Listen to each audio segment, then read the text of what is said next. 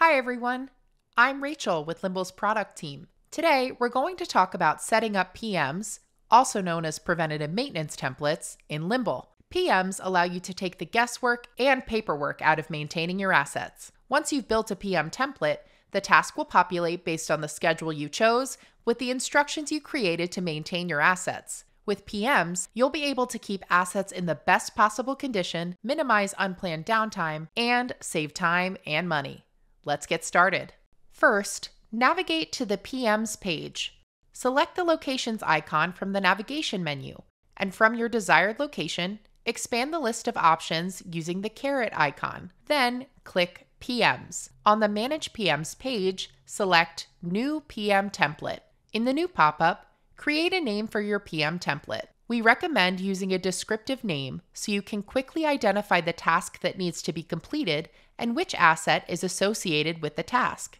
I'll call mine Quarterly HVAC Inspection Unit 3.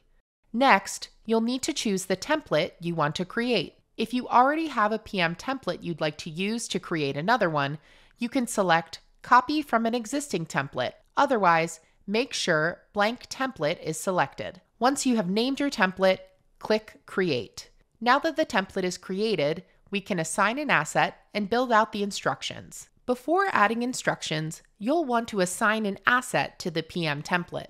Linking the asset allows you to track performance metrics and any associated work on the asset. As a best practice, we do not recommend assigning more than one asset to a PM. If multiple assets are associated with a single PM, each task will need to be completed before the next batch of PMs is able to generate, which could lead to a bottleneck or delay in your routine maintenance. To associate an asset with a PM, find the Asset column and click the plus button. Then select your asset. In this example, I'm going to choose HVAC Unit 3.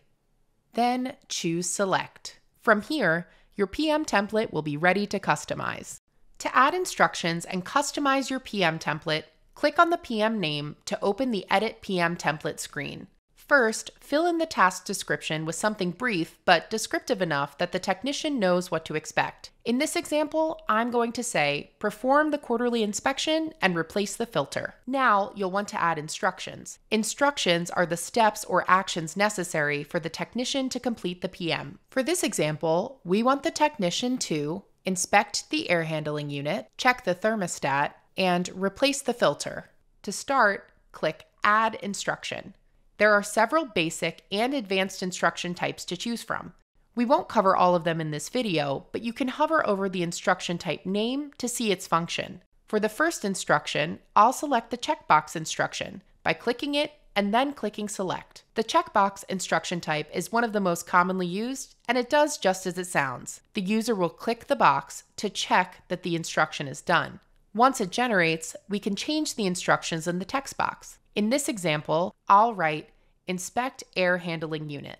You can also add sub instructions to an instruction. This allows you to add additional detailed instructions and even create conditional instructions based on the work that gets performed. For example, a technician may need to lubricate the fan bearings in some instances, but not all. For this example, I'm going to add a sub instruction to check and clean the condensate drain pans. To do that, I'll click the plus button underneath my instruction and repeat the same process.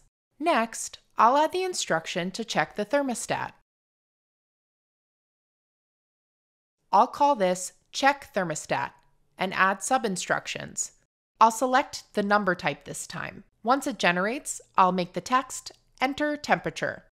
Last, we want to change the filter. I'll add a final checkbox instruction and make the text Change Filter. We can preview our instructions by clicking the Preview button to see what this PM will look like when generated.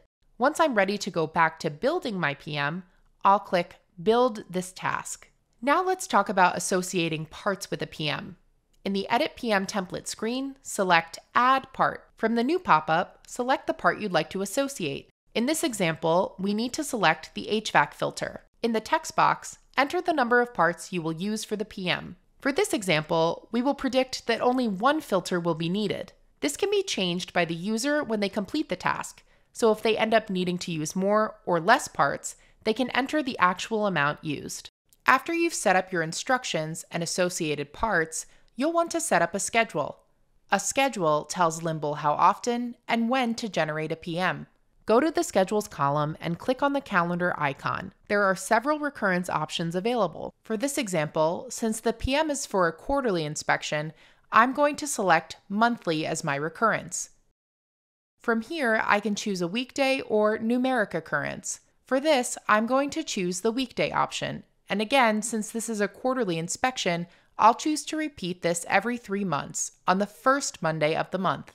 So my PM will generate to occur on the first Monday every three months. Then choose a desired start date. Find the date picker next to Starts On and select a start date. If you want your PM to end after a certain period of time, click on the date picker next to Ends On and select an end date. We don't need one in this example. Now click Save. The final part of setting up your PM template is assigning a user or team to the task.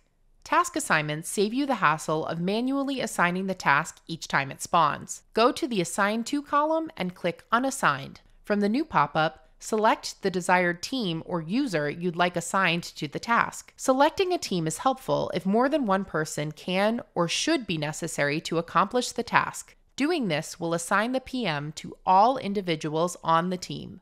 In this example, I'll assign this task to the afternoon shift and click Select to save our changes.